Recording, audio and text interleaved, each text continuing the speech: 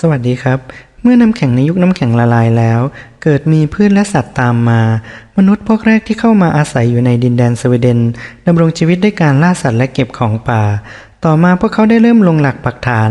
อยู่เป็นหลักแหล่งทำการเกษตรและเลี้ยงสัตว์ ในยุคนี้มนุษย์ใช้ประโยชน์จากหินในหลาย ๆ ด้าน ดังนั้นยุคนี้จึงเรียกว่ายุคหิน และในยุคหินจะมีสภาพอย่างไรนั้น เชิญชมได้ตามคลิปนี้ครับ ภ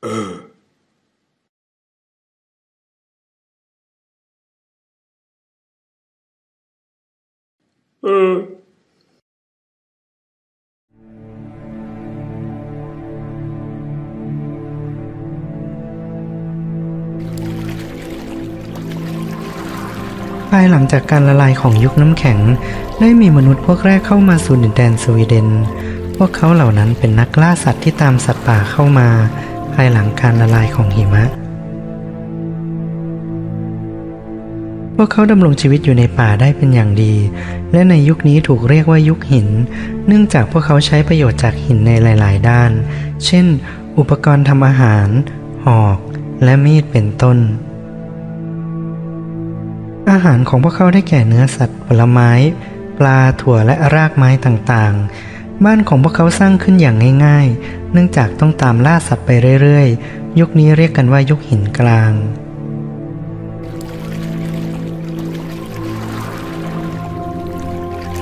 ราว 6,000 ปีก่อนได้เริ่มมีการทำการเกษตรขึ้นในแถบสโกเน เมื่อมนุษย์ได้เริ่มทำการเกษตรทำให้พวกเขาเริ่มตั้งถิ่นฐานเป็นหลักแหล่งพราะเขารู้จักการเลี้ยงสัตว์ สัตว์เลี้ยงของพวกเขาได้แก่ หมู แกะ สุนัข วัวเนื้อและวัวนม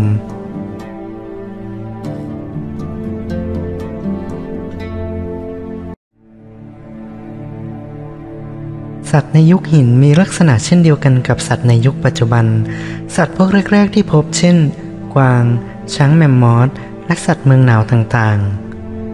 ๆ เมื่ออากาศอบอุ่นขึ้นได้มีสัตว์หลายชนิดมากขึ้นตามมา เช่น แกะ วัว หมู เป็นต้น ในยุคหินกลางมนุษย์จะล่าสัตว์เมื่อต้องการใช้ประโยชน์จากมัน แต่ในยุคหินใหม่มนุษย์เริ่มนำสัตว์มาเลี้ยง เช่น วัว แกะและหมูเป็นต้น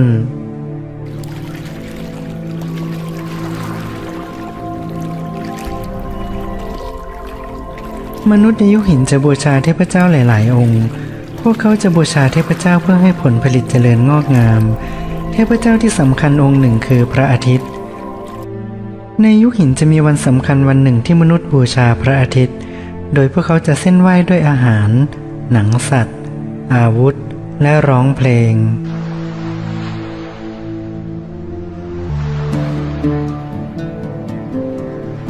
มนุษย์ในยุคหินเชื่อเรื่องชีวิตหลังความตาย ในพิธีฝังศพจะทำการฝังสิ่งของลงไปด้วย เช่นอาวุธ เพื่อให้ผู้ตายได้นำติดตัวไปใช้ในชาติใหม่ อาวุธและเครื่องใช้ของมนุษย์ในยุคหินใหม่ได้แก่ จอบ หอก ธนูและมีด ทำมาจากหินเหล็กไฟซึ่งเป็นหินชนิดหนึ่ง รวมทั้งกระดูกเขาสัตว์และไม้ ประเพณีอย่างหนึ่งในยุคหินคือการไหว้กวางและหมี ซึ่งเป็นความเชื่อที่เกี่ยวพันกับชีวิตหลังความตาย มนุษย์ในยุคหินจะสร้างเตาหลุมสำหรับประกอบอาหาร ในเตาหลุมจะใช้หินเผาไฟร้อนๆ เป็นเชื้อเพลิงในการทำอาหารและต้มน้ำร้อน ซึ่งอาจจะกินเวลาไปราวๆหนึ่งชั่วโมงกว่าปลาจะสุก ไฟถือว่าเป็นสิ่งที่มีความสำคัญเป็นอย่างยิ่ง เพราะต้องใช้ประกอบอาหารและต้มน้ำร้อน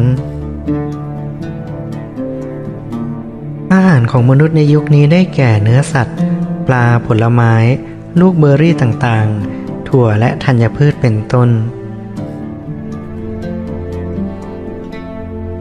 หากจะเปรียบเทียบชีวิตยุคปัจจุบันกับชีวิตในยุคหิน ดูค่อนข้างจะยุ่งยาก มนุษย์ในยุคนั้นจะต้องผลิตเครื่องแต่งกายจากหนังสัตว์ และเพื่อให้หนังสัตว์นุ่มและกันน้ำได้ดี พวกเขาจะต้องขัดมันด้วยไขมัน พวกเขาจะต้องล่าสัตว์และเก็บของป่าด้วยตนเอง ธรรมชาติในยุคนั้นค่อนข้างสวยงามและไม่หนาวมากนัก การที่เป็นนักล่าด้วยตัวเองทำให้พวกเขาได้ลิ้มรสอาหารจากธรรมชาติจริง ๆ ปลาเป็นอาหารที่มนุษย์ในยุคหินรับประทานบ่อยที่สุด ไฟเป็นสิ่งสำคัญอย่างยิ่งในยุคนั้น เพราะให้ทั้งความร้อนและใช้สำหรับทำอาหาร